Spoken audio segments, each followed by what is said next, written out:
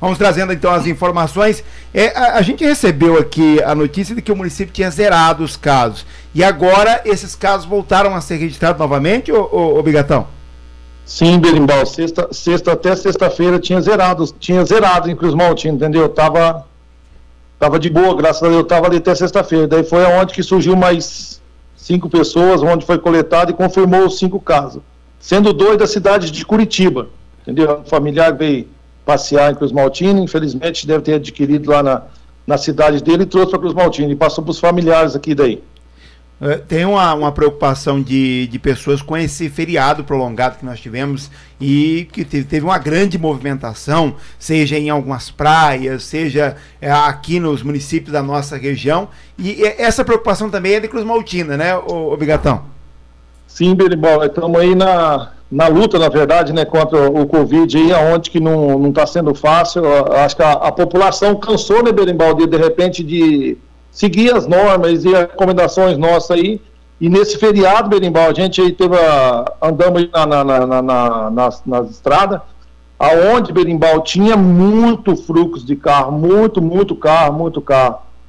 E esse, esse reflexo aí vai vindo aqui mais ou menos uns 10 dias, né, Berimbau? A gente está aí até se, se cuidando, já se precavendo aí para uns dias tristes daí, entendeu? Uns dias mais tristes aí que, olha, é só Deus para ter dó de nós. Agora, no município do Cruz Maltina, esses cinco casos são de uma mesma família?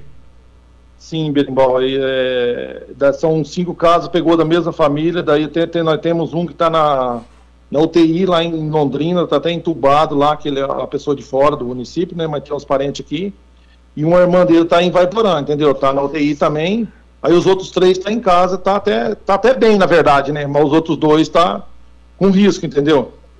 Então, a, a, de vida. A, a, princípio, então, é, é, essas pessoas vieram de Curitiba e aí apareceu o caso na família. Seria mais ou menos isso? Sim, Batia, foi, é, Berimbau, foi quase a mesma coisa que aconteceu na, nos primeiros nove casos nossos de Cruz Maltina, onde teve-se um velório, lembra, lá no, lá no comecinho, lá, onde teve-se um velório, que a família veio para o velório, depois acabou pegando aqui e passando para nove pessoas da, da mesma família no município de Cruz Maltina.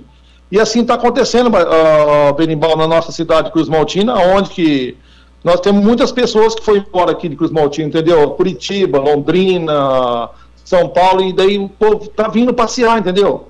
O povo está vindo, infelizmente, daí estão trazendo os casos.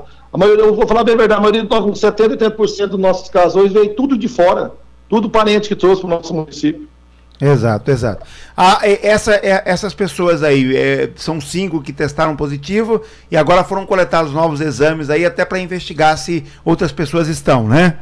Sim, Berimbau, nós, nós seguimos aí um protocolo da nossa regional, onde foi feito o isolamento da, da, das famílias, tudo, né? E tá, agora estamos no, no aguardo, né? Quando dá o sintoma, Berimbau, procura, liga para nós aqui e nós já fazemos, já coletamos, entendeu? Dentro do prazo lá de três a cinco dias já se coleta o, o teste de ver o que aconteceu, se, se vai dar positivo ou não.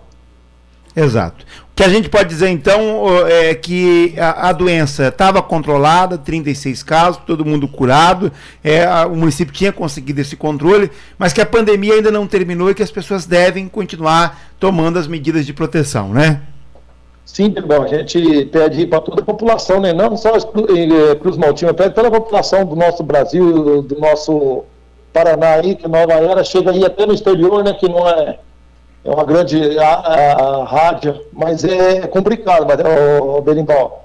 Deus que ilumine né, a cada um de nós aí nessa, nessa luta contra o Covid, já estamos passando, chegando quase 130 mil mortes né, no nosso Brasil, né? É uma coisa muito absurda e grande, né? Exato. Obrigado aqui pela sua participação, mas eu é, deixo aqui à disposição se tiver mais alguma algum detalhe. O, sim, Berimbau, quero aí a, agradecer a Nova Era pela oportunidade e já quero deixar aí bem claro aí, nós, nós mudamos o posto de Dinisópolis para o posto novo lá e a partir de hoje já está atendendo o posto novo lá em Dinisópolis. Sei, sei.